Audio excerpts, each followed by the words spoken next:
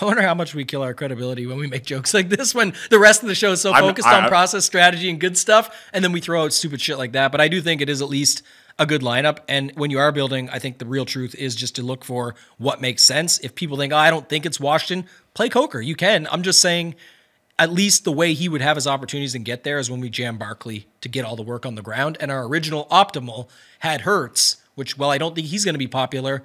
It is a way to fit it to go down to him. And we just saw Jacobs run all over this Jacksonville defense. So we should be able to easily see Barkley do it again. Here's the thing.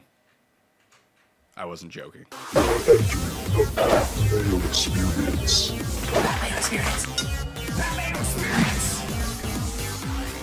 Mayo experience. Welcome to the Pat Mayo Experience presented by Underdog, the Week 9 DraftKings picks, lineups, preview, the games to target, the ownership, and the lineup builds. Tambo's in the studio with me from ShipItNation.com. Saw the guys at Ship It had a pretty good night. Saw some of your some of your subs with some uh, big totals. Yeah, members been crushing it for sure. I've had uh, my ups and downs. Others have had it. A lot of good wins uh, this season so far. We're only nine weeks in, so that's kind of how it goes. I'm always a late bloomer in the season. I think the more data we get, the better. But uh, nice to see them up there. Always a good sign, and across all sports too: NBA, NHL, college football. Just a bunch of good stuff going on. Yeah, you can use code Mayo over there. Use code Mayo over at runthesims.com as well. And especially code Mayo at Underdog, because guess what? Winners on Thursday night. Yeah, more, More. winners. Dude, not quite six to one. It was 5.7 to one. But you know what? You, you turn your 100 bucks into 700, or 570 bucks. I, I don't see who's complaining about No, that. nobody's complaining I'm not that. complaining about that. I loved it. Yeah, that's very solid. So if you use code Mayo right now, you get yourself a free pick for any day of the week. It'll be NBA up until Sunday, but Sunday and Monday will be NFL picks. I suppose it doesn't really matter. You can make all your NFL picks for Sunday and then just throw on a free NBA pick if it's going to mm-hmm. be a guaranteed winner anyway. If you use code Mayo, highly suggest you go do that now and you get your deposit bonus of up to a thousand dollars. Anything? I mean, you don't really you don't play pick 'em at all, do you? No, I I, I don't. I don't. I I- barely do anything outside of DFS now, just because honestly, it's just easier. It's what I love. I'm obsessed with it. Just dropped the new one today. Not sure if you saw the post. Got to get it out there early. But Dot com. TambosTidbits.com. Go check it out. It's not what you think it is, maybe, but it's going to be a lot of fun. I'm super excited for this one. Obviously, great things going on over at Ship It Nation, but this is a DFS passion project of mine, something I've been working over four years on. So I'm going to drop a thread on it later and let some people know some more information about it. I love it. So TambosTidbits.com, code Mayo at Underdog. Let's talk about the slate for week number nine. Lots of games. Yeah, 12. That- 12 games? Feels good coming off 13 though, right? You're going down a game. You could still do the early. Like last week, I had a lot of fun playing early only afternoon on top of the main slate. I didn't play nearly as much volume as I would on a main slate, but this week you can do it again. It's a 8-4 split. So if you like eight games and that feels better for you, play the morning only. If you're building classic lineups and you look at it and say, "Holy shit, these guys are all playing in the morning." Good idea to maybe just throw that in the morning and then you can avoid the afternoon sweat if you want or run it in both. It's fine, but I don't mind it. It's just, you know, this week feels more spread out than last. My main lineup was an Aaron Rodgers lineup last week. Did very well in the 150. Ended up, I think I won like 600 bucks, 700 bucks, whatever it might be. And it was all early, guys. I didn't realize that after I put it in. Then I looked at it, I was like, oh, I got no, going into the later set of games, like, how am I doing? It's like, oh, I'm super high. This is great. This is inside the top 10. It's like, oh, I have no players remaining. So I just gradually got reduced, but not by too much. So it wasn't so bad. Yeah, that's not too bad. And it depends on the slate. This one is another one where the afternoon has two huge totals 48 and a half, 48, a 45 and a half, 44. Like there, there is game spots here in the afternoon. So if you do have a morning only lineup you like, I think putting it in the early only slate is a good idea. Are you surprised that the highest total game on this slate is Dallas Atlanta, yet it doesn't seem like that's going to be the most stackable game? Mm, I guess I wouldn't say surprised anymore because it literally just happened last week with Detroit. Nobody wanted them. They crushed their team total in the first half. And, and no one really did anything on the team. Yeah, if you, you Jahmyr Gibbs, I know that some people got to him late. He got a little bit. He was like ten or eleven percent, but after that, like nobody wanted anything. But no one did anything. and no one did, and that was the thing. But if you had him, you were you were in good shape. But that's kind of how I feel about this week for that game as well. I, I, at least on the Dallas side, you know who to use, CeeDee Lamb, and that's it. Yeah, and I also, I, I mean, not everyone does this, and last week you got away with it, so you can get away with it again this week on a big slate. But like last week, Ja'Marr Chase just twenty points was still good enough on the lineups because people just had the money to spend with all the value receivers, the value tight ends, etc. Lamb is a guy that I think you want to put with Dak Prescott. When he has his 38 point game or something like that in fantasy points, Dak's going to have a big game. I wonder what you see this week with some of these values if people can just play him without it because that's kind of what it's going to come down to. So are there any other games in specifically? What do you think the most stackable game is going to be this week? Because a lot of the offenses are spread out offenses in terms of the big totals. Like even the Bills' offense, like I don't know where the ball is going outside of James Cook. Yeah, I've never come into a week in a while, not just this season, but like in general, where I feel like it's this spread out and it's just hard to really pin down. I'm, I'm interested to see what the optimal says. And then when we start from there, we can kind of go with different angles. But I think it is a week of you're able to cross off games. Like if there's something you don't like, don't feel like you need to fit it in. And then it, I, what I meant by that too, Pat, is just the harder part of what you and I usually do on the show. And we go through and say, okay, we're starting with this stack. Now let's go to this spot because we don't want to miss out getting a piece from here. We should still do that. You should always do that. I think as part of your process, especially if one to three maxing or something. But what is the next spot you go to? I don't. It's it's you kind of just got to go with what you're feeling and what you like, and then trust the projections. Some use those as a guideline, but I think that's the interesting part of it.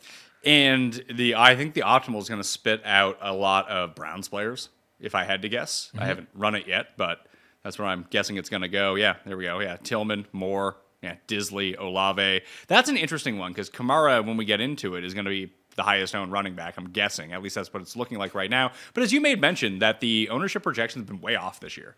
Uh, even last year too. There's it's definitely something to do with the Sims. You know, more on that in the future, I think. But just in general, the stuff with the the Sims push something. Everyone gets it from the Sims saying, "Well, the Sims are telling me this is the best play." But no one uses the Sims. Well, no, if they use it, that's the ones that are using it are running it and going way overweight on it because the Sims say it's good, and then that flop, flips their ownership so that they go from 12 to 15 to 25, and someone's saying, "Holy shit, how did this guy get up to that number?" That's how. So it happens more in showdown, other sports, you know, with like projection sports like NBA as well. But yeah, the other thing I don't get is like the Olave uh, Olave piece you just mentioned. He's showing big ownership, but he, but he, he should be. but but Kamara's showing even more. So are, are people just running Kamara Olave lineups? Are they really? I don't know. We'll have to wait and see. There's 12 Well, it, games. was going to be like if you don't want to play Kamara, that if you did want to play Carr with Olave, I, I guess that makes some sense. Like no, I'm just playing fifty six hundred dollar Carr then. Just that's what I'm play saying. them all You play together, Carr yeah. and Olave. I would I'd play them all. That's how you get away. I mean, that to me is what it's going to be because what I'm going to see right now, especially again, I don't know what's Carr's exact status. He's still Q tag, but He's playing. He's playing. So if it's really again, I don't know if ownership's right or not, but if it's really going to be you know 15 plus on Olave, 20 plus on Kamara, and two or three percent on Derek Carr. If those guys get there and have big games, the ball came from Derek Carr in most cases. And you say, oh, it doesn't with Kamara. It, it does. He still gets plenty of them. And it goes back to the olden days Drew Brees, Kamara, Michael Thomas. Drew Brees throws it 10 yards. They take it 80 or 90. Guess what? Drew Brees still gets all those yards and the touchdown that go with it. So just another example of a way you could go. It's only a 43 and a half point total. But going back to your original question of is there certain games that are more stackable? That's what it comes down to. A 50 point total like last week. What was there? 70 points in that Detroit And, Tennessee and no, game. and no one was usable outside of Gibbs and Calvin Gi- Ridley. Gibbs, unless you got the miracle secondary stack of Gibbs and Ridley, and some did, and congrats to you. Not many had it though, Pat. When you go to the combinations, look it up. So that would be a prime example of that again. The other one that's probably super easily stackable, just looking at these teams and seeing where the concentration of the ball is going to go, is probably Cincinnati. Because I'm assuming that Higgins isn't playing again. Yep. That's at least the way that's trending right now. We're recording this on a Friday. Obviously, on Saturday, I'll have the full injury report and update all this stuff on the Pat Mayo experience. So be there. I know it's the weekend, but hey, you can still tune in to that one. It's a lot of quick hitting stuff. It's like it's like the info drop that you need, and then the newsletter comes out on Saturday evening to update that even more. I have Justin's like top optimal plays and all that. People get very confused. It's fun, although it's very clearly stated. I don't think enough people know how to. It's very easy to use. I think it still is a little bit intermediate, and they've you know people had chats and threads about it. Justin's post is amazing. That's why I get so many views and people see it. But just you know, a quick rundown is obviously that it shows who's the most owned, who the the, Sims are actually saying is the top, top play. optimal play, and then it's optimal minus ownership. It- yeah, that's the leverage. So, yeah. some guys can be the chalkiest plays, yet still not be owned enough. Right. And also, if you see someone who's, you know, 20% owned, 20, um, or sorry, 22% owned, 20% as the top optimal, they're not going to show up as a top play, but they're pretty damn good. And it's saying it's almost in line. What you don't want is when some overpriced overreaction is I can, 18. I can give it to you right now. Yeah, you and it's, you want to hear it? Yeah, let's get it. El- Alvin Kamara right now, projected ownership 26%, optimal rate 8%, an optimal leverage score of negative 17%. which you won't see on the far right of Justin's post for those that watch Yeah. and follow it. But that's the point. Sometimes you you also won't see a 22 20 because it's only it's negative two. It's not going to show up. But that on the flip side of that, you may see a positive five on a terrible quarterback, but it's because they're five percent or six percent optimal and they're only one percent owned. So yes, they have a nice positive leverage, but they're not very often going to be optimal. And again, that's just stuff I don't think as many people know how to read it or understand it, and we can help out with that. Yeah, and listen, that's a free cheat sheet. I have that in my newsletter as well, and I work off that a lot when I'm trying to make my plays. But all of the information is being derived from Run the Sims, where you can find all that stuff very easily. And I'll give one away for you right now. Nick Chubb is like the best play at running back on the slate, according to the simulations. Mm-hmm. I don't know. Like, I'm going to play Nick Chubb. I played him last week. He's getting more and more work. This game should be somewhat close. And when the game is close or they can run the ball, they do run the ball with Nick Chubb, which is nice to see. But now it's leaving, like, when we get to the optimal in a sec, I think there are three Browns in it, but Jameis isn't one of them. is Chubb in it? Chubb's in it. Oh, yeah. Okay, I was gonna say that's the so this would be the flip side of the Derek Carr, Olave, Kamara thing I just said. We're like, oh, that's it. Like the way to cut into their ownership is via product ownership. You're putting him in as a much lower owned play to cut into the average of those three. Versus this, I would prefer to play Chubb just as the leverage play Yeah. off the passing stack and just leave it away. But you could get away with Chubb and one receiver and maybe not need Jameis and the whole bunch. Or I know some people will overstack and go, you know what? I think Cleveland's in a good spot here to be able to crush. Let me get Jameis, Chubb, Moore, Tillman, and even put the Browns D and just hope they stomp them. Something like that. Yeah, well, the, the Browns are going to pop up a lot. I think some some of the Panthers are going to pop up as well, just because they're so cheap. Mm-hmm. And we made the right move last week. This is what won me the money last week. Uh, when you and I were talking about it, it's like, which of these Tampa receivers are we going to jam in? I was like, why don't you just use Cedric Tillman for $200 less than all these guys? Yeah. At least we know he's playing. We know that he gets the ball. And we knew Otton was already good Yeah. there. Like you could get away, and that's the type of lineups that won. And, and that's the other funny thing about the Carolinas point you just brought up. Uh, another thing this week that tells us exactly what we are. What do we know going into the slate? New New Orleans guys popular. Carolina guys gonna fit in. So what that means is a lot of people are gonna have a secondary stack there.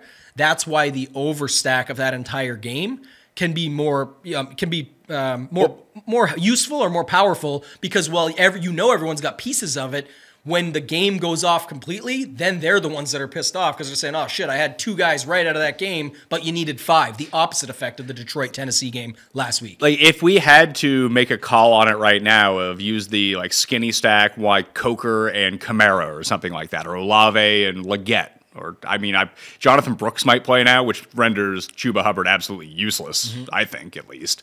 I'd rather just not play anyone from that game. I think that's probably like it's still Carolina. They're still terrible. It's not like New Orleans is awesome. Like this game could most definitely be twenty to ten, for sure that's why i said and you I- don't need any of these. guys. I prefer going for like the overstack. Yeah, the no, avoid. I- I'm with you. Yeah, I agree. That's a, that's a perfect way to put it for the way I'm thinking of it right now. Is I I like an overstack or an avoid more than saying like, well, I gotta have a piece of that New Orleans side. It's just perfect. Like I gotta get that one guy. You don't have to. Yeah, I, I lots think of ways you can go. I, I think if you're dealing with a game like Detroit and Green Bay, that I do think a skinny stack makes a lot more sense. Be like, oh, I think Jacobs is going to eat on this side. I think Gibbs or Amon Ra is going to eat on the other side, and that's the pieces of that game that I want, and hopefully it works out for me. Because at least those players are good. Yeah. Like when you're dealing with the Saints in Carolina and you're just trying to pick off pieces, like these guys suck. That's a great um, point that you can actually refer to from last week, using your exact example, the Jacksonville Green Bay game.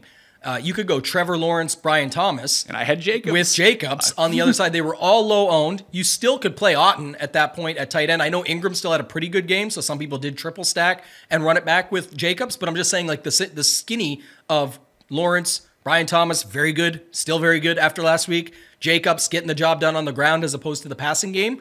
You've got yourself three guys that can go off that are at lower ownership, and they're not diamonds in the rough. These are guys that are going to help each other. Thomas helps him. Jacobs does it on the ground that forces that. So I agree uh, with you on that one. What, what's the uh, the optimal that we got right now? No, one second. I want to talk about running backs for a second before we before. Oh, okay, okay. okay. I, I was I'll- filling in the pieces as we All right. I'll, I'll, I'll give you the optimal right now. How about this? okay, sure. What, what do we got? We're, we're, we're, we're switching up the format. I'm cheating. Sorry, It's, guys. it's week number nine. Jalen Hurts is the quarterback Okay. of the optimal. Nick Chubb and Tony Pollard are the running backs. Pollard's 6,800 bucks, but he popped up with this injury on Wednesday in his foot and did not practice. He also did not practice on Thursday.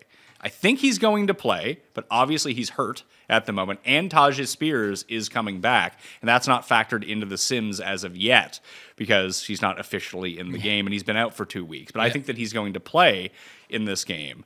So I don't know if Pollard's necessarily the best in the best spot here, but we'll keep him in for the moment and we can work around it. Tillman and Elijah Moore are two of the receivers with Ja'Marr Chase at 8600 bucks. Will Dissly is the tight end who I'm out on because it looks like Hayden Hurst is now going to play. Thus bumping Dissly back into his blocking role or simply off the field, but where he was 3,100, he made a lot of sense here if Hurst was going to be out again. And then you have Chris Olave as the flex and Chargers D at 3,100 bucks. So I think almost off the hop, you get rid of Pollard and you get rid of Dissly because I think that by the time that Sunday comes along, they're not projecting for nearly as much as this. Nothing an optimal lineup likes more than playing the defense against like three players in, play- in a cash lineup or an optimal lineup. It's always the way. I never minded if it's like the D versus the tight end for 3,500. Yeah, like, who cares? Who gives a shit? And it doesn't really matter. We've seen it get there. It's just funny that optimals always seem to love that. It's like, let me just do this and find the D against them all. And, and that's usually a common rule that people separate in optimizers and stuff. So we can go to running back and just leave it. I know what you want to do, like you said, pull Pollard and whatnot, but if you want to go back to the regular segment, you can. I just was No, no, 'cause- I, I'm, I'm just trying to see like what can we do here. So I, I want to pull Pollard because he's 6,800, mm-hmm. and there's you know that's a substantial amount of money to spend on this lineup for a guy that might not even get half the touches or might not even play at this point. Let's say Pollard doesn't play. Would you play Spears? I would definitely consider it. I mean, I think it would be a great spot, right? Yeah, Forty seven hundred bucks. I know it's it doesn't really matter as much about matchup to me And he's 4,700. at that point, and so yeah, I would, I would definitely have interest. but he is also coming off the injury as well. I think it's like Joey Chestnut is the other. The thing is, that this goes back to my original, uh, you know, point. I guess is that you know, let me see here, just by owner. What, what do you have by ownership right now? Kamara at the top, obviously. Kamara, Swift, Kamara, Swift, and then it's Hubbard, Brown, and Bijan. Right? So the thing this week, like, do we love Hubbard? We already No. talked about that. um, do you have Chase Brown up there as well? Chase Brown is fourth. Yeah, and I think it's great, and he's kind of pulled it away from Zach Moss. We've seen it now like three weeks in a row, over half the snaps, all this stuff. But I actually like the passing stack for Burrow there, especially because he wins Milly Makers. Chase wins Milly Makers with him, and then if there's Higgins out, even better, where you can just stack it up easily. And yes, you could fit Chase Brown in that, but you don't need to. No, you don't need to because the guy that you actually want to play when Higgins is out is actually Mike Gesicki.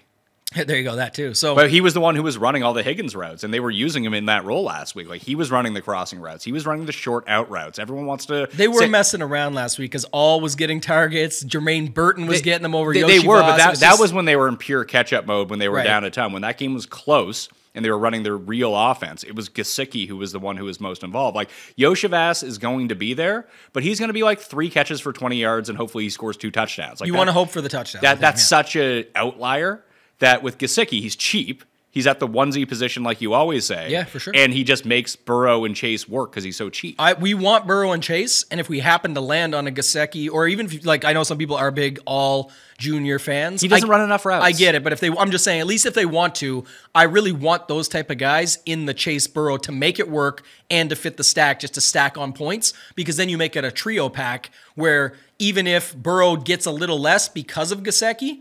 Or, or sorry, um, Chase gets a little less because of Gesicki. You still get some of those points to the trio, right? You're trying to rack up the points on the three guys together. So um, I like that call. I- I guess my point was going to be at running back. I don't know if I love any of these guys, and I don't feel like it's last week where we have like 15 really good running back plays. I actually feel like you can poke holes in a lot more of these guys this week, and then your Kamara one from the top rope with the uh, you know 26% to 8% optimal. Even if it comes up or the ownership comes down, whatever happens happens. It's not really great. No, uh, in terms of optimal leverage, like I said, Chubb ends up being the best play. Barkley uh, is trending at three percent ownership right now. I get that he's eighty two hundred bucks, but if you can find the money for Kamara, just find the money for Barkley or Kyren Williams. Those Yeah. guys are so much better. I was gonna say that too because it's uh, also hilarious. There's no way Barkley can do what he did the first X amount of weeks. 'cause Hurts stole all his touchdowns stole- last week. Yeah, exactly. and the, the funny thing is, the optimal wants to go to Hurts. It's not like he's gonna be high owned, but because you have the money, because there's not as many value spots at all the other things,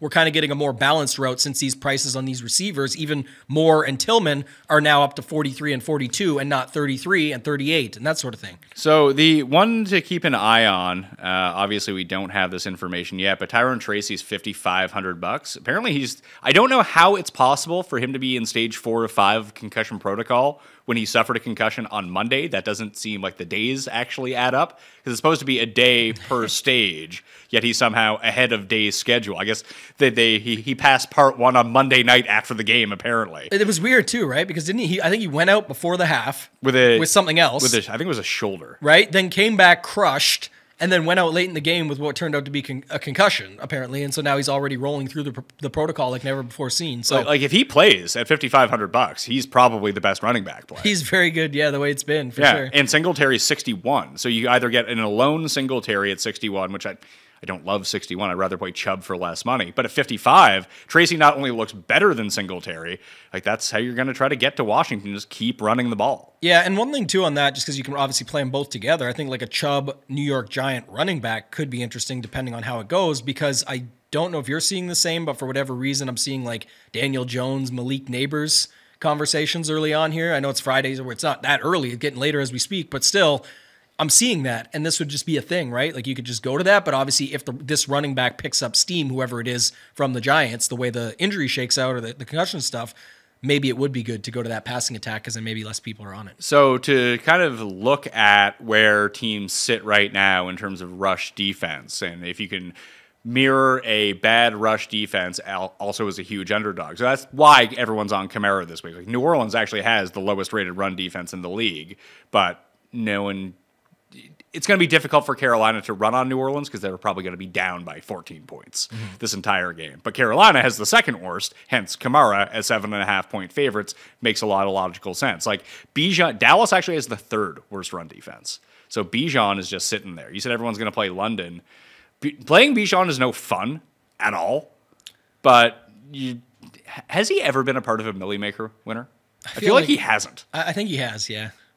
But The, the other ones are New England, so rare. Pollard, Miami, James Cook, the Rams, but their defense is starting to get healthier, so I'd kind of scratch them off. And it's Las Vegas and Cincinnati.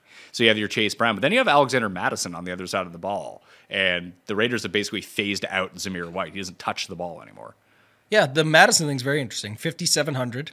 And we want to play those stacks anyway on the other side. So maybe he just gets involved first and then that causes the, you know, cause and effect of that. Maybe. Yeah. I don't know. Yeah, so it's it's one of two ways for me when I think about it is if we play Mattison, but we play him with the Bengal stacks, like what does he do if the Bengal stats hit? Probably nothing. He would need to score early. Or do you just say like screw it, Jakobi Meyers, who's or Brock Bowers, like one of those two guys. It's probably better to go that way and just like a skinny if you're doing it is like a, I know it's not cheap, so it's skinny but not cheap. Is to go to like Burrow, Chase, Bowers or J- Burrow, Chase, Meyers.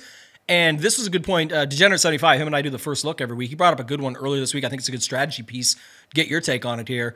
Is like can the rate if the Raiders can't keep up at all in this game, then is it really going to be a spot where Burrow and Chase hit their ceiling where they're needed or is that going to be a spot where they don't because it's like you know the the way Justin Jefferson started the season Minnesota was winning those games Darnold was breaking his number but Ja'Marr, uh, Justin Jefferson was not breaking his number he's getting you 20 points so you're like oh this is going to be a huge day and he got the ball in the first half. and that's it and they Yeah. don't need him in the second half and that 20 points is usually no good right from his price tag so what's your thoughts on that I guess I would throw cold water just maybe on the Bengals in general. Like I do want to stack up the Bengals. So maybe the route is actually to save the money at running back to uh, Chase and Mattison and just play those two guys because Cincinnati's offense in the three games without Chase Higgins or without Tee Higgins has been bad. Like, it's been actively bad. yeah that's They don't score any points, so Chase it- Brown love might come a little bit from there right now he's at um, you know I'm seeing like 15 to 16 percent ownership right now Well, I, I think that it's it's it's expensive to use Ja'Marr Chase for one thing, and there's a lot of good options that you can use at the very top.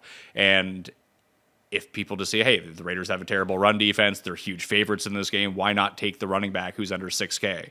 We need to save money somewhere. That's a very logical spot to save money. Yeah, I'm just keep going back to the Barkley spot. Like we keep talking about these cheaper running backs. I know we're staying on it, but like the um, Jacksonville is the matchup we literally just talked about. That Jacobs just ran all over them, and now we get Barkley in there. They're almost eight point favorites at home. Like just jam it and, and run it in there. Eighty two hundred bucks. All right, I want to talk about defenses very quickly, maybe some cheaper tight ends before we move on. So defenses, as I keep rolling them out every single week, I, Washington's the play again at thirty four hundred bucks. What are they? Thirty four hundred. Yeah, yeah. Look, they look great. Like Um, people will try to jam Chargers against Jameis, which I get, and they're hundred bucks cheaper, but they're also going to be like ten times more owned.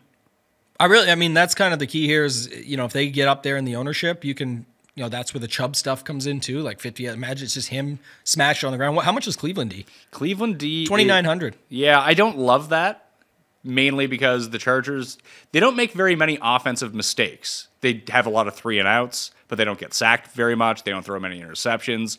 They just run very high percentage, like low upside plays, which don't generate a ton of fantasy points against. Herbert's dropping back more, but it's not like. Yeah, he's throwing more. That's But, but he's not taking seven step drops and like looking downfield and making risky throws. He's like dumping it off to Ladd McConkey three feet in front of him. Not yet, but uh, I'm telling you, and- and the Ravens suffered this last week. It's just not good. It's not good going into the dog pound and playing, man. It's just a tough spot to go into. Um, you know, west to east early game.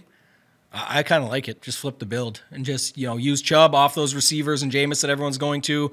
If you don't have to pair up the running back and the D, so you don't have to do this. I'm just saying I actually don't hate the Cleveland D at 2900. So Well, I'm just talking D's. The the Broncos are coming in as the highest owned right now. I think it's because people recognize them as a good defense, despite the fact that they're playing Baltimore and they're twenty seven hundred bucks. I'm good with not playing the Broncos. Horrible. Just X them. The Yeah, it- Baltimore at home after an embarrassing loss, big time favorites. Guess what? Baltimore's smashing this No, week. So we'll talk I, about that. I- I think there. the Broncos cover this game, but it's nine and a half points. Yeah, So- that's why a lot of people probably think it because they think it's too much. Just watch and see. No, no, the money is very strictly on the Baltimore side of No, game. it I haven't, I'll look it up, but I, I haven't seen it. I hear everyone talking about this Denver side, and I'm telling you, just as being a, a long term fan, this is what happens. I, I think they play I, down to their competition. You're, you're just you're just like the fan people that come into the comments, like the Chiefs fan that yelled at Cam. no, You're not just like close. you as a Ravens fan. You just hear the negative. When I call it like I when see e- it. You know, when everyone says anything about Baltimore, you're like, oh no, everyone's against Baltimore. Everyone's saying that D- Denver's gonna gonna cover this week. Everyone's playing the Denver D this week. They everyone's like playing. Well, everyone's playing the Denver D because they're cheap. Yeah, I- they think I- that they're gonna make I, mistakes. I don't, I don't like the Denver D because I don't think that Denver's path to covering this game is necessarily generating turnovers from Lamar. I don't think Bo Nix is as good as people think he Oh, is. he's not. gonna- he's most definitely out. not as good. As on paper he is. It's like I think he actually averages more um, expected fantasy points than like Josh Allen, Lamar Jackson, those wh- guys. But it's wh- when you go. I mean, it's the same. It's no. Di- Bo Nix is no different than the stretch that Caleb Williams just played. The Broncos and Bears almost mirrored schedules. Mm-hmm. When you play three of the worst teams in the league and a historically bad Carolina defense. Then all of a sudden you start looking like you're pretty good. What happened Mm-hmm. yeah. to Caleb? What You happened to Caleb? week? You called this with Caleb. Yeah, what happened to Caleb Williams once the moment he played like a real defense again? Wasn't good. It was the end of him. And he played like absolute crap because he had no time to do anything. The one thing about Baltimore's defense is that it's not very good. it's and not. so it's not necessarily that the Broncos are going to that's how they're going to cover this game. Oh, well, it's going to be 17 to 10. No, like Lamar's going to score his points, but I think that Denver has the ability to do to Lamar what Washington did to Lamar. And Washington had to pick its poison. They lost the game, obviously. They didn't win, but they would have covered the they would have covered the number if it was set like this against Baltimore, but it was six and a half. I think they lost by eight in that game. But Washington committed to containing Lamar. They said, you know what? We're not going to let you get outside and we're not going to let you rush for 100 yards. And they did a very good job of keeping his rushing numbers down. He broke one off, and it was towards the end of the game when there was an over pursuit. I think Denver is going to keep a similar strategy to say, hey, Lamar, you're going to have to drop back and pass and beat us, or Derrick Henry is going to absolutely smash us on the ground. that's the Which they problem. should. Uh, Listen, Baltimore should be able to do that. But I think that if you start doing that in the game, it does throw off Baltimore's rhythms a little bit, that they their upside stops being like 40 points. It starts becoming like 30 points. I got 31-10, maybe 31-17. It's just I think That's- that the Broncos will be able to score points because Baltimore's D is bad. We'll have to see. I think the defense will be a bigger factor. I also think that's an interesting topic from what we previously talked about. Derrick Henry, hundred bucks more than Saquon. They're both right there, but uh, Henry, huge sample size. Actually, his entire career averages five more fantasy points in Games they win. In games they win. I mean that. Mean, They're gonna win. I mean, I, I just thought we, before we came on. You and I were talking about Geno indoors versus Geno outdoors. Now, Geno's fantasy points, basically in every game except for last week, have been pretty good. But the games where he's actually played well in EPA per play have only come indoors. It was at Detroit and at Atlanta. Mm-hmm. And you know those defenses aren't like bad defenses; they're pretty good defenses. Those are two pretty good teams, and Geno was just out there lighting it up. And just their offense gets slow outside, which sucks for a team that plays predominantly outside. It reminds me a lot of the Bills from a few years ago, where they had this high-powered offense and they could score points outside, but every time you put them in a dome, they went off. Like they were actually built to play inside of a dome. And I kind of feel like this Seattle team is built to play inside of a dome as well. That's where they can hit their upside in terms of just scoring points bananas because they're so fast. Like just that inherently makes a lot of sense when your team is predicated on speed. It's like if you got Miami indoors ever, like they're just gonna out, they're gonna burn past everyone. Outdoors, you're just slower. Maybe it's playing grass. Walker week. Uh, That all I'm noticing every conversation we have, I'm listening. I love it. I think it's good conversation, but I think it's also just all these running backs that people want to play versus all the actual running backs that People I, are going to play. the one, yeah, like I'm like, man, there's like really good running back plays, but they're the ones that people don't want. So I feel like the way to get different this week could be that, and then obviously we'll have a ton of different stacks we could siphon through. But I think the running back is really interesting this week. But my point was, like you say, that the Derrick Henry is averaging the Derrick Henry. Listen to me, I'm like The- cuss, like the the the, Derrick Henry. Google. Give it to him. I'm using the Facebook here. I'm like my grandma. But Henry averaging five more points and wins, like obviously that makes sense. Obviously he would average more points in games that they win. He's right? the best. He's the best though. I know. I, That's a I, real I. I mean, if we went back and looked at every running back in the league who gets more than 70% of its team's touches out of the backfield, Yes. I would almost guess they all average That, way more that is built into the same stat that he pops off the chart on. It's they don't average five more fantasy points per game in the wins like him over such a long sample. Sure. So it's it's more so saying when they win, he crushes his number versus the other. And, and there's other ones like that. You know, I don't love a stat like this unless there's a real sample size. His is literally his entire career. That's why I like it a little bit But better. now it's on two different teams. How do you even judge that? I, I don't. I'm just saying it's when it's that consistent for him. It's it's not a. If I- every your point is right, but I'm saying his is the outlier. That's the difference. Do you know who the next few guys on that list are? Because I would guess I'd have to look at it It would be non-pass. Like I bet you Nick Chubb actually does very well on that list as well. That'd just be my hypothesis because he doesn't catch passes. So in games where they win, he's running the ball more.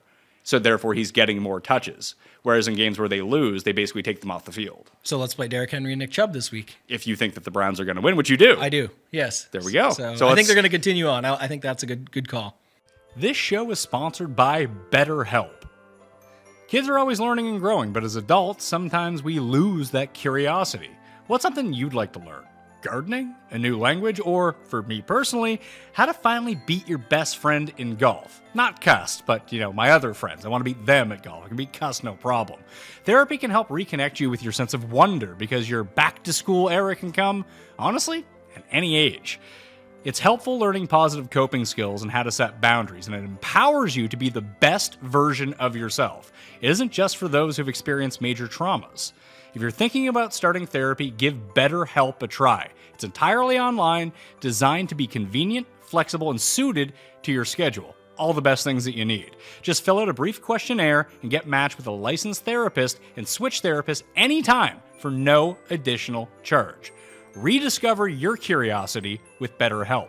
Visit betterhelp.com slash patmayo today and get 10% off your first month. That's betterhelp, H-E-L-P dot com slash patmayo. Well, that's an interesting starting point for some of these DK lineups. Uh, let's do that. Let's go Chubb and Henry. All right. Let's So do it. Henry's the most expensive at 83, and then Chubb is 58. It's a very reasonable price for Nick Chubb. Now, if they do fall behind in this game, he's going to be sitting on the sidelines. You, as a Ravens fan, Keaton Mitchell might be active this week. I, when I broke it down in the rankings, I don't think he has any effect on Derrick Henry. I do think he has an effect on Justice Hill. I don't know. He- Justice Hill just got paid, man. He did, but Keaton Mitchell is He- I think like, he's le- legit one of the fastest in-game players I think I've ever seen. And guess what? It just goes, there's no homerism. It's the same thing back to it. I love that for the Ravens because I know a lot of people complained about it last year because it's not good for their fantasy teams. Why are the Ravens using so many different running backs? Because the other team is tired as shit. they can't figure out what's about to happen next, and they got to account for this running back, that running back, Derrick Henry. Oh, and they got Lamar, who you don't know where the cameraman can't even follow his handoffs. Guess what? That's confusing for a very tired defense. So that's why they do it. So I like it for the Ravens more. I don't think um, I was ever going to be in on Hill anyway, and Mitchell is awesome. But No, but like he just adds another- does add a component to it for sure. I agree with you there. What about Diontae? to God, I don't even know about that. People even think that's a, a good thing. I, I, I mean, it's, it's not a bad thing. They got him for free.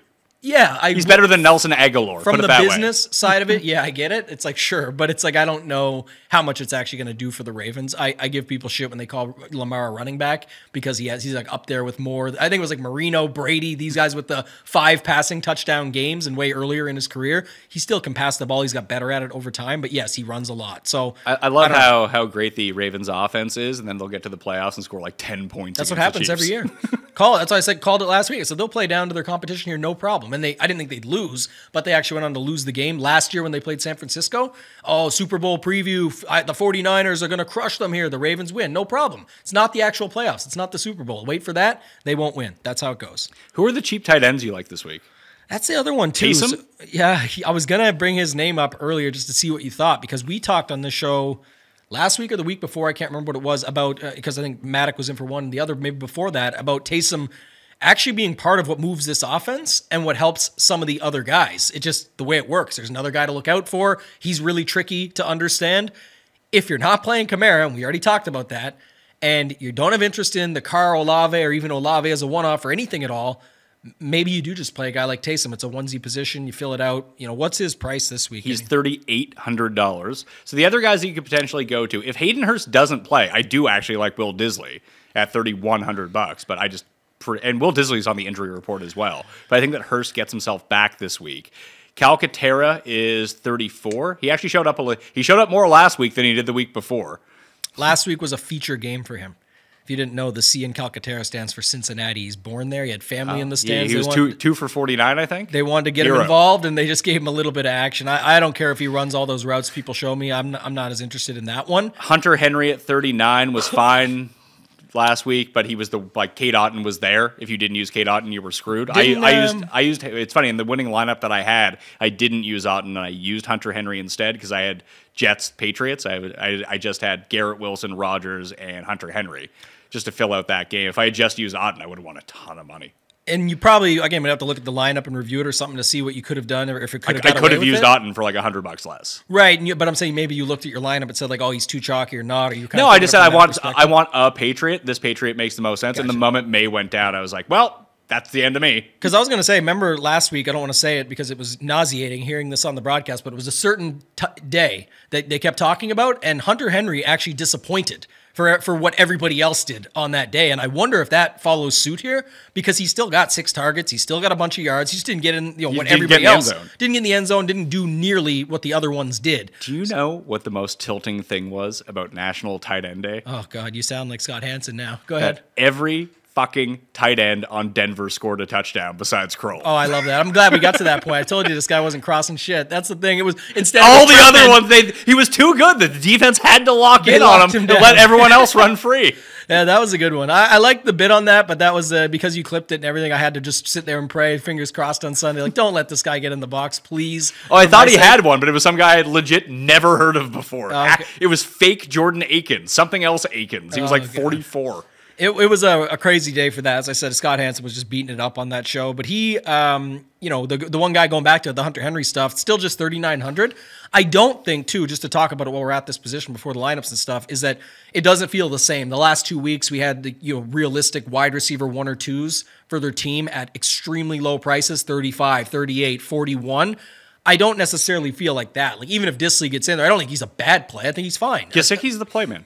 Right. Higgins is out. Play Gesicki at 31. That's the move. That's what I'm doing. So so that's he's there, and then even your your Henry call, he's still just thirty nine hundred. He didn't really get a boost. He was thirty eight last week. He went up hundred bucks. It's a small boost, but again, much like the running back position, it feels like there's actual options here that we'll like. And I also think some of the guys like um, Njoku, opposite side of Dissly, maybe a McBride or a Kmet or something like this, Jonnu Smith. Like these guys, I'm not necessarily going to go to two tight end lineups because I don't feel like they're that good. I feel like these are good fill ins though for using up the onesie position. Kmet is really interesting because he, I think he had zero points last week. Not not many people in the Chicago offense did much last week, but to go back and look at it again, when has Williams played well playing against teams that don't generate pressure? You know who doesn't generate any pressure?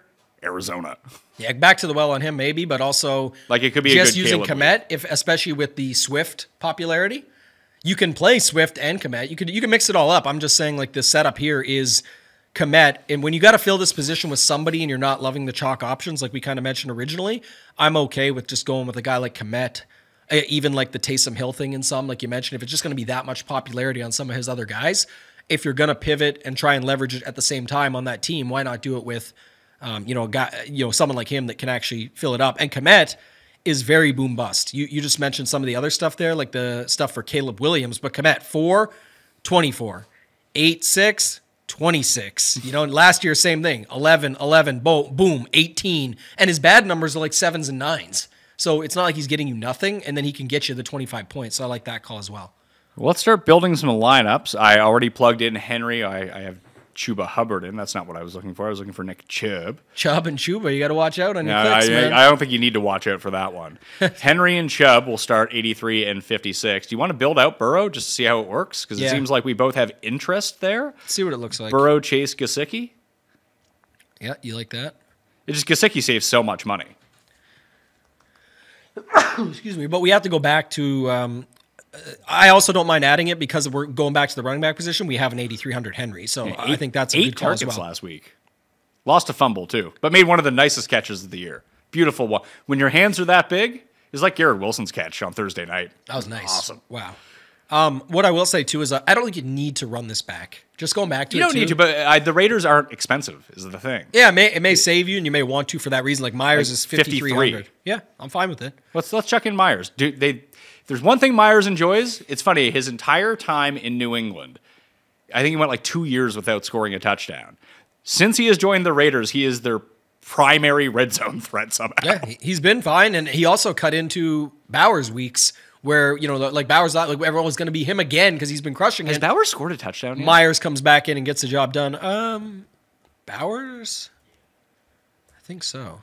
Has he? Yeah, he, He did has against uh, Denver. He has one touchdown this year. For a guy who's like their highest usage player and a tight end, who you think would be used in the red zone, he's just not. Yeah, and you pay six k for him, so whatever. But uh, he would fit still. I just I like the Gesicki to make the other stuff work. The last thing I'll say here before we close it out, because we talked through it, and there's like a ton of different defenses at all different Washington. places. No, no, stop doing this. Washington. What game? You need to look at this when there's 12 games. I'm, I'm, I'm looking at it. I want the one I have rated as number one that no one's playing. you don't need to pick a defense. I'm not going to keep telling you this. I'm, what I'm, saying but is, I want to pick a defense. what game do you feel like you're missing out on? It's good for the people to know. Like you've got your Cincinnati stack. You feel good about these two running backs. I mean, we don't we don't have any Dallas, Atlanta. How much is Mooney? Throwing Mooney at 6K and then with 2,600. That's not good. I don't know if you have that money. That's what I'm saying. You you don't have to worry about what you're avoiding as much as what you could be missing out on. We- Is we there something here you feel like you have a better spot you can pick up on? Washington, the Giants would be one. Chicago, Arizona, maybe. Um, the Rams in Seattle, possibly, depending on what you find for price points there. So, is there any secondary stacks or just one offs that are cheap enough that are within those spots that you think you could fill out with? I, I don't think there's anyone cheap enough is the problem. Like, because if you go to Dallas or Atlanta, I guess you could use Ray Ray McCloud. He's 3,800 bucks. and you don't need to do a secondary. no, stack. no, I'm just Yeah, saying, so- but like, to, pick off pieces. You Yeah, could use- Ray Ray. How much is Tolbert from that game?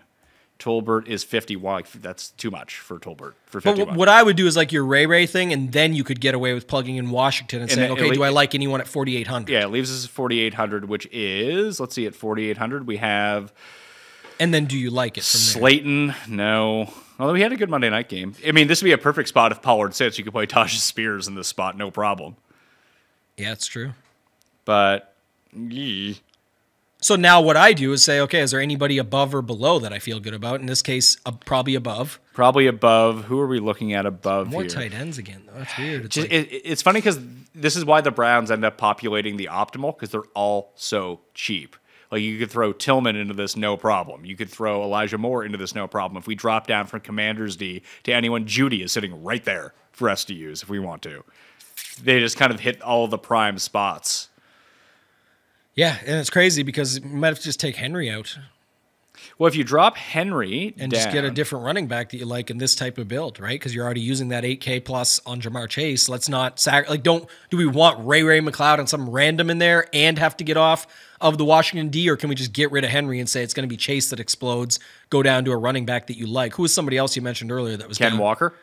Yeah, let's try that. I mean, I play Ken Walker every week. Dude's good. And then it gets us up to How's he been doing? 5,800. He had a bad week last week against Buffalo. Before that, 23, 20, 14, 33 were his last few games. Yeah, and, and now you can play Mattison, for example, and, and run the game stack there if you wanted. So get rid of Meyers. You could that you could look at that too. I'm just giving an example of sort of where you land is around that 57, 5800. You could play McBride for a second tight end if you think he's more of a receiver. You could play Wandelay Robinson, not uh, Wandale, your boy, but uh, Wandelay, Wandelay, Wandelay, like I like to call him. He, he's not there, but I'm saying if you wanted to game stack it, or you could play Mattison and then see what can you get for 5400 at a wide receiver. I still like Meyers better Courtland Ma- Sutton is kind of yeah. yeah. But that's what I mean. So yeah, what, what do you like instead of Mattison then at 57 or Well, let's just keep Meyers in because we already have that stack. We'll go Burrow, Chase, Meyers, Gesicki. I'm good with that, and we'll try to build that one out. We could go Gibb. We could go Bijan. Man. Or is there any? Who do you like in the six thousand dollar area at running back? Anyone? Because they're not great options. What do I got here? Let me just see. I'm gonna just quickly see what this looks like. Because do you have anyone at 6300? I mean, Stevenson, Brian Robinson, Tank Bigsby. Is there a receiver who's there who's not bad? Stevenson. No. Chris Olave at 61 is like the one guy. Yeah, and you you need to find a couple hundred bucks. Was there another receiver below our guy, uh, your guy uh, Ray Ray there that you were talking about? I know you don't love him, but you just sort of brought him up. Like, would you consider somebody at 33 or 32? Anybody down there? No one pops out this week to me like they did last week in this spot. Like the two best value plays. I, the, I guess the one you could go to is Jalen Coker at 36. David Moore is 33, but now you're just on like crappy. You know, actually, no, where's Tipton?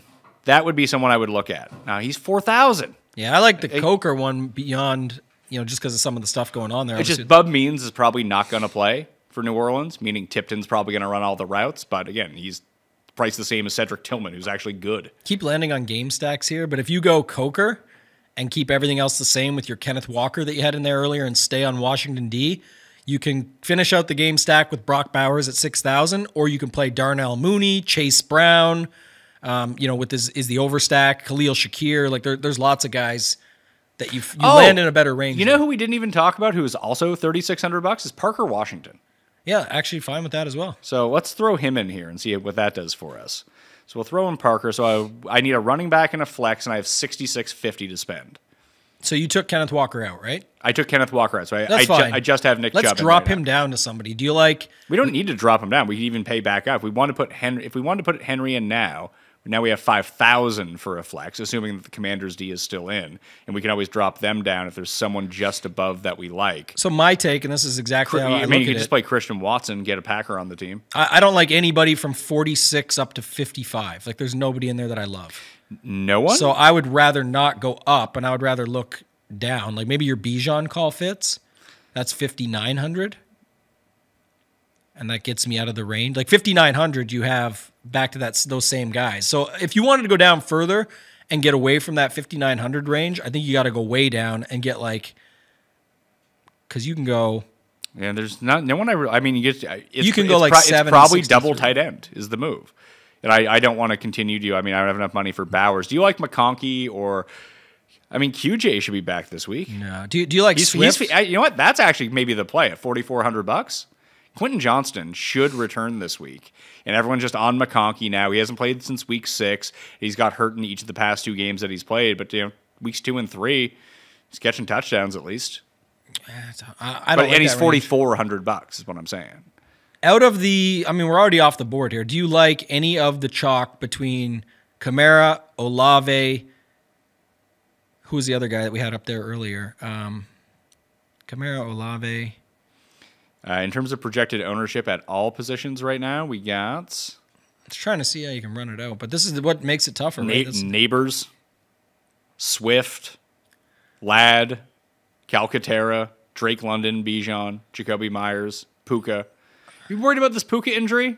Because I worried about it last week, wasn't a thing. And now this week, no one's going to worry about it because they didn't worry about it last week, and it will be a thing. That's probably what it is. That's pro- I, I wasn't super high on him last week, and it obviously hurt. But at least it was only a showdown slate. You, you know, usually you got it or you don't, so that's fine. But uh, you know, this is the spot seventy two hundred coming back. We'll have to see. Did you let? Oh, Swift was the other guy because Swift gets you up to like I think people round this out with Swift and Pollard. I don't love that. I'm just saying I can see that's. How I- I don't would- like that at I all. can see that's how people would round it out, and that's what I was trying to look against. How about this? I got it. Burrow, Bijan, Chubb, Chase, Meyers, Parker, Washington, Gesicki, Trey McBride, double tight end, and Commanders D. Yeah, it's you even have more money if you want to play. If you want the ultimate leverage here, just use Ravens D for an hundred bucks more, which we do have. If everyone's using Denver's D and no one is using Ravens D, Ravens D is probably a pretty decent play. Yeah, I'm, I'm all for that, but I think in this Washington's fine. You had him already. I'll, I'll take that one. That was what I was looking at as the best out of what we had. Um, you know, it just depends on what you like. That's why I always say like the defense thing doesn't bother me as much because I can just take Washington down to Cleveland, right? Go against the the Chargers there, and then I could run McBride up to someone in the 63 6400 dollar range and just call it a day. But even then, right now, it's not something I love. There, there's nothing I see there that's Brian Robinson, I guess. Don't love it. That could be the play this week, Brian Robinson. They've been really struggling inside the red zone because they continue to try to pass so much that they might just be like, you know what, let's run. I And feel pound. like yeah, they they try to, but it's like his snaps are down huge too. Well, he's been hurt too. Like Yeah. he, he didn't practice for three weeks and just started. He's like, I'm here on game day. I was just looking at that. So what, what was it uh, last week and the week before that he played? He played 26 of 69 and then he played 35 of 74. He still got 16 attempts on the 35 snaps, but it's like, man, he's Yeah, and which is way down, and that, that perfectly coincides with his injury. Now, but he's this is the first week where he's been like a full participant in practice all week, and he wasn't those weeks. So that Yeah. logically makes sense to me. so this lineup is about 10 points off the original. How much are the Titans D? Remember the Titans? Titans D 32. are 32.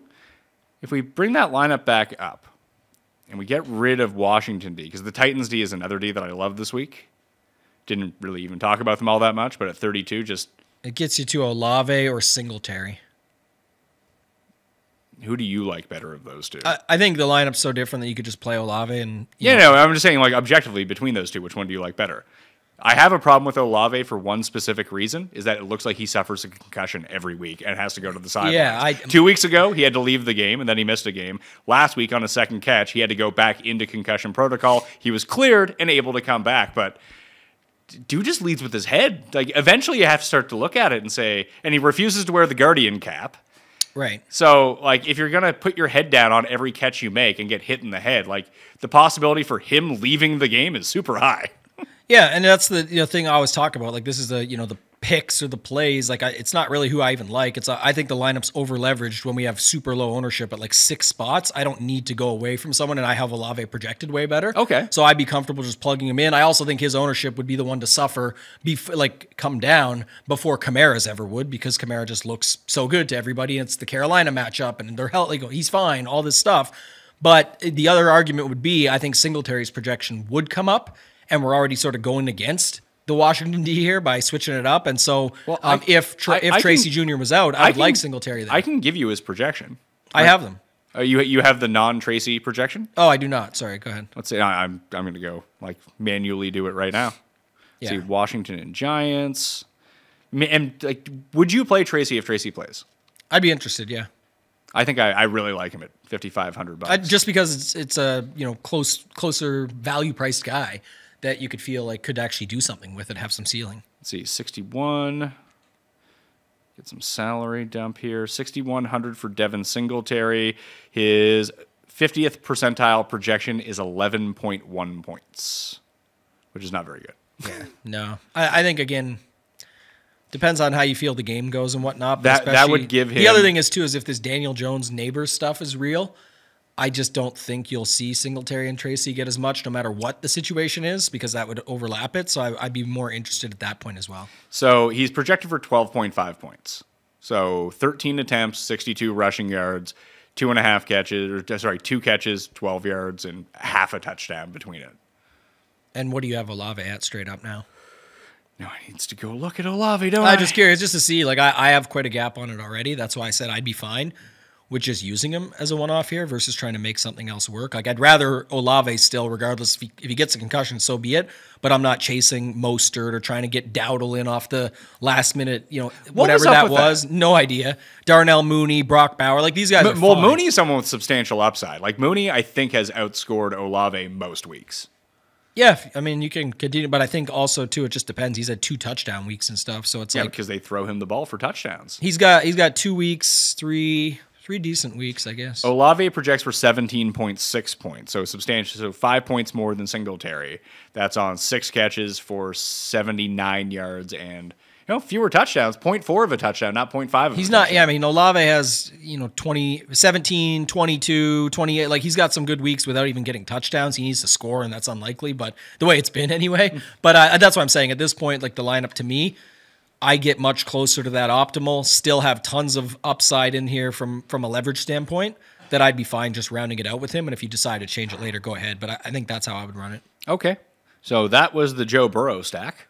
I mean, we also could have played Brock Bowers in that spot too. We, it was funny. We just kept landing on the five man game stack. Yeah. like you play. You land on Bowers. You land on Mattison. If you get a little closer back and forth, and I think that's something to be said to my original point I brought up earlier. That Shout out to Degenerate seventy five, saying like if they can keep up, can you? You know, then it's different. That is what you're building for, though, in that scenario, because if they keep up, that's because Meyers, Bowers, Mattison did something to make it so there has to be some back and forth. So you should almost build for that if you're building it and not just build the standard stack that everybody else does where it could fall apart. Let's build Jameis out. Yeah, let's just Like if all of his options are in the optimal lineup, like maybe he gets there too. It's well, it would make sense, especially because they got a bit of a price bump. Like your, your original Tillman and Moore. And I, I'm not going to use uh, more. I'm going to use Tillman and Jeudy. I think Jeudy is the play if you're going to play anyone from Cleveland and can afford it. No one's playing him. He's still their best receiver. I mean, I suppose you could argue Njoku is. Maybe you just go instead of using the cheap cheap options, use the slightly more expensive options, which still are not expensive, and use Jeudy and Njoku. I would. I was just about to say. I would rather if I'm using Jeudy, I kind of want to use it to move off of this. Tillman is the man after two weeks Yeah. of great stuff, including one week with two touchdowns. He is, and it's been great. But we're not playing for that. Like that's the difference here. We're just saying what could happen. You get all the 5K guys. Yeah. Jeudy and Njoku, Winston. I, I kind of like that setup there. That's that's what I was gonna just try and lobby for. Here's my issue with the Chargers. I don't know who to play or if I want to play any of them. You want to play Quentin? You said QJ. I, I do want to play Quinn, but I don't know if we need him if we're structuring our lineup like this. You definitely don't. I mean, you can you need him if you need him, but I'm saying like when you're building it out, you don't necessarily need him. Now he is 4400, and we were just digging around through the Parker Washingtons of the yeah, world. all we also stuff. use Burrow and Chase, which were sucking up an awful lot of right. I'll just say if we cap. do decide that you want some action here that way, because now you got to be doing like let's go to running back. What do you really want here now? Like, do you want to get Chase Brown in since we're off of the Ja- the Ja'Marr Chase stuff and want to use the opposite Chase, or what are you thinking here putting into this lineup? I mean, if we're gonna spend up, what if we use like Kenneth Walker and Cooper Kupp? Yeah, I think. Um, Because everyone's now on Puka, everyone off of Kupp, or we use Kyren and Walker, and that's where we Maybe use Kyren and Walker and just not worry about any secondary stacks yet, right? Just see. That's kind of the other thing too. With 12 games, you'll notice, you know, while it's nice to put it together the way we usually do, you also can get away with playing some of the good spots. I still just- like Gesicki here, and I'll you know, I'll just default to Commanders D for the moment since I used Titans in the last one.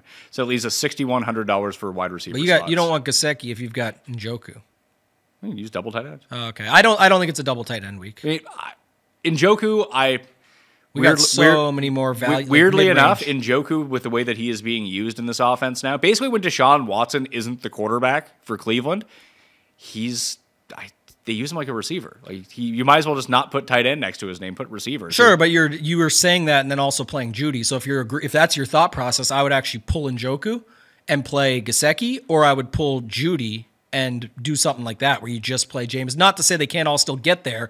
I'm saying, but the description you just had tells me that it's like you're like feeling like he's going to be more of the guy. And It's if- not even that he's more of a guy. It's just I think that if you were to put wide receiver next to his name and not tight end, he might actually be more money. Like he No, might be for sure you would, and that's why he was. uh, That's why it was a two tight end week when he was forty one hundred because he was literally uh, the main guy. We thought we didn't even know about Tillman yet at that point being a guy that's going to pop up. Everyone was playing Elijah Moore, and he got all those targets and catches. I just don't know if we'll need the second tight end here. I also think you'll need some Chargers to push this stack if it's going to happen. So I feel like I would rather just play QJ, even though I don't love him. But I, I liked your call of what that could be. What about versus- Ladd then? That's possible as well. Yeah. D- Dissly makes a ton of sense if Hurst doesn't play, and that's also big savings. Well, that's why I think more people would have, and more of the chalk will get there as well. Is like Jameis, Tillman Moore, or Jeudy Moore. Maybe they go to Jeudy over Tillman or Moore, and then they just use Dissly as the run back. Why I was saying, like, imagine if everyone's on Dissly, you get to a QJ at 44. It's kind of awkward, but it does help you out. It, it makes sense in this lineup. Okay, what I'm let, let's throw him in. Hopefully, he can score a touchdown. That leaves us with 5,400 for a wide receiver and a flex for the moment. I mean, we can do the ultimate pay down if we're not using any Washington guys anyway. We could use the Giants D. Or if everyone. yeah, we could leave, we could take out Washington D for a second too if you wanted to see what Yeah, that that's what I'm saying. us. Like, we can use throw in Giants D. But we have money. Yeah, let's throw in Giants D. So now mm-hmm. we have six thousand for a wide receiver and a flex. Yeah, so that could be Chase Brown and Let's try that. Yeah. Because he kind of fits off of our plan from oh, it lands on Olave again so this is how Olave ends up getting all of his ownership. because everything lands on him. Yeah. But this is a nice this is a nice lineup, I think. Winston, Jeudy, and Njoku. Quentin Johnston instead of Dissly, you kind of flip that, so you got a little bit of spot there where you're up. You're still paying you're you're paying the price on ownership with with Brown, Olave, Kyren Williams should get some, and I think the the Giants could get steamed up a little just as the cheap D. So you're still getting some guys that are owned here, but you don't have the Tillmans, the Moores, the Pollards, the Kamaras, all that stuff. So this is this is a nice lineup. Six points off the original. Really. I, I like And that's with QJ, who doesn't have a good projection. But if he's back, I could see. Yeah, it. I mean he might not play. Let's see what the, the latest update is on him. Practice fully on Thursday. Yeah, he's back. yeah, he's back. There you go. You know, this. been doing this long enough. So, what, what was your secondary thought going to be there? It's just are there is there a cheaper I mean are there cheaper running backs we can go to? Yes. uh, Like we've we've tried it with Chase Brown, Mattison, and Chubb in that range, but we've also just done Kyren and Kenneth Walker. Is there a middle point like James Conner and D'Andre Swift, and that's how we get access to that game? Okay, so to clarify, and yes, there is. The answer is yes. Let's pull those guys and even pull the Giants D. Let's pull Kyren. Let's pull Walker.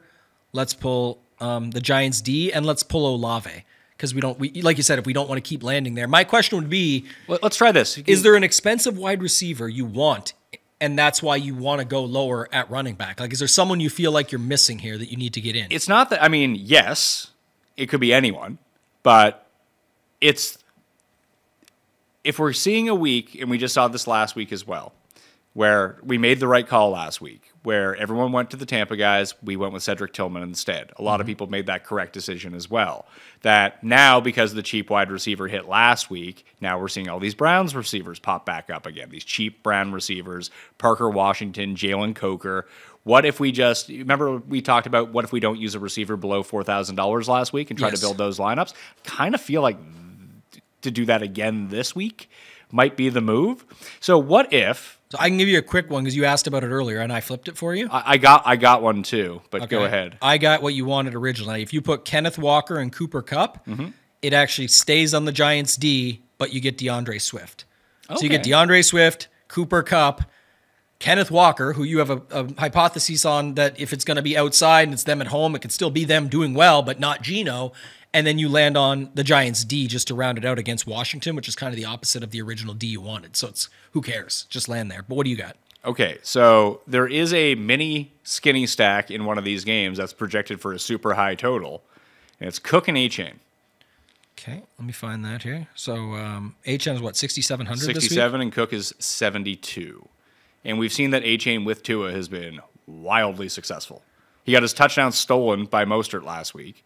I don't know if he ended up getting it or not. I just remember watching that. HN still scored 26.7 or something last week. Yeah. Like they just he's a part of their passing game now. Eight targets. In Yeah, he got- he got a receiving touchdown, In games with when Tua in the three games that Tua has started this year, seven, seven, and eight targets. And he's averaged 26.8, and that's why I remembered 26.7 because everyone was talking about He that pregame and he hit it. the exact, pretty much, point one off. But yeah, so if you put those two in, you have 4,900. But Or if you want to do the cheaper version of it, get rid of Cook and put in like Shakir or Coleman, one of those guys.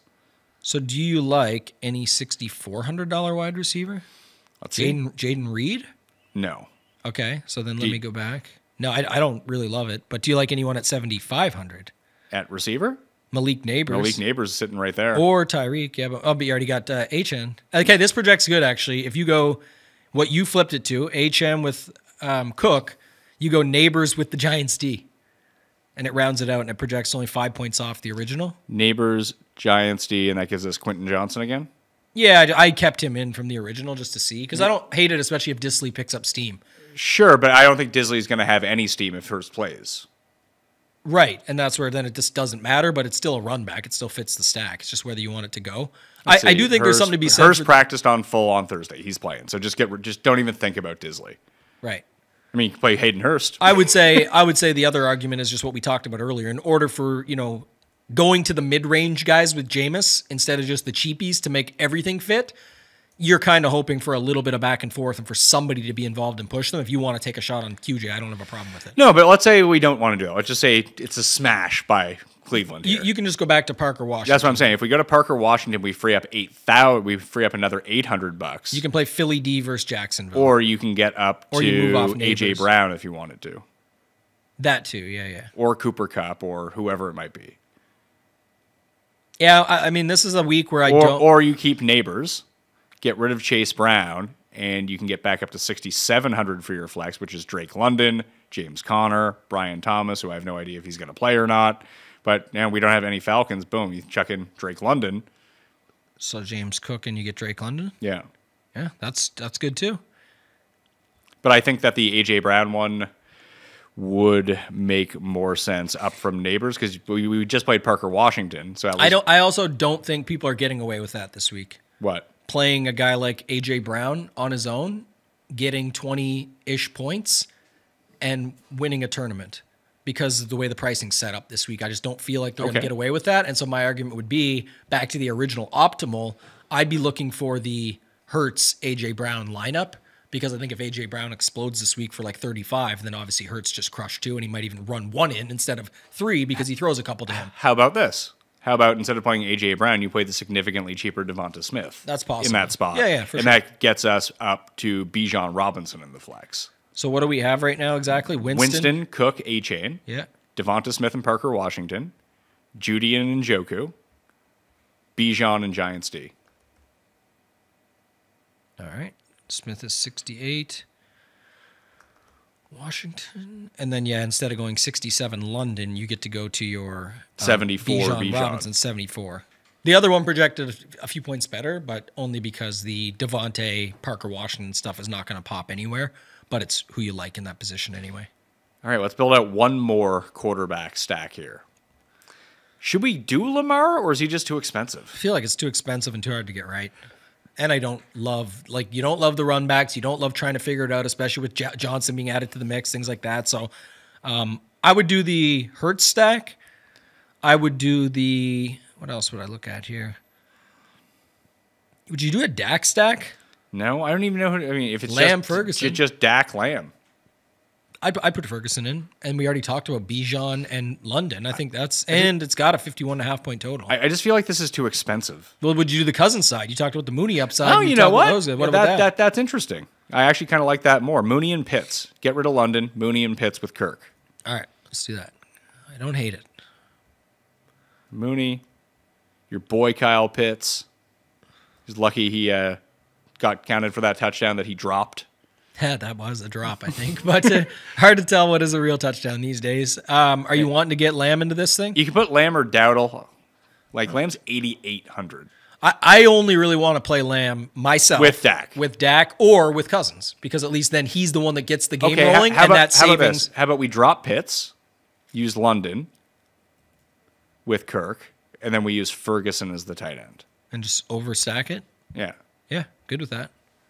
But now we have fifty one hundred bucks. Like I don't know what we do here. It's like Chubb and Mattison or Chubb and Chase. Who did you? The chubby Who do you have in there right now? I've got Cousins, Mooney, London, Lamb, Ferguson. Cousins, Mooney, London, Jake Ferguson. Yeah, fifty one sixty per player. But you still have. You said Lamb to go in there instead of Pitts. No, I took Lamb out because you said you didn't want to play him without Dak. Okay, gotcha, So I just gotcha. used Ferguson. yeah, yeah, this is good. As This the Cowboy. good. I like this. This is plenty now to work with.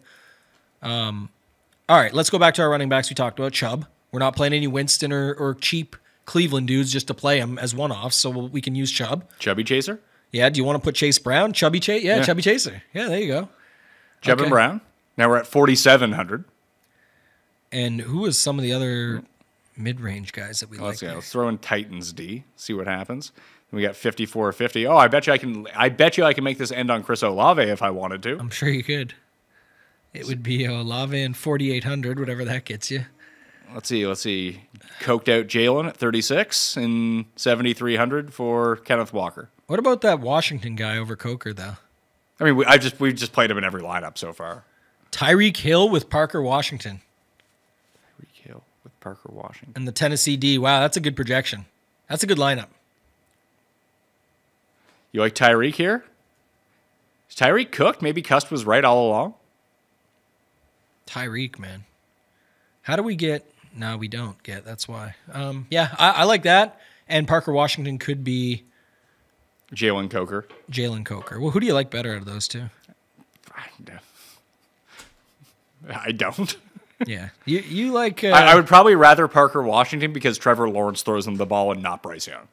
Coker just did make- have a big as- week last week, so that's why. But that is true. The quarterback. Yeah. I mean, Bryce Young got there with Jalen Coker when Denver legitimately was like, "All right, just can you please end this game? That's like, we're right. up by so much." give him a freebie. But I, I know um, Parker Washington get, is getting a little love this week, but it's time for him to have a have a shot here, man. This well, it gives him a shot. Christian Kirk is out for the season. Obviously, Brian Thomas is banged up. Gabe Davis is banged up. Like that entire team is injured. He's their one healthy receiver, and he's thirty six hundred bucks. So if there's a spot to take a shot, it's on him. Okay, one second. I gotta fix this one then.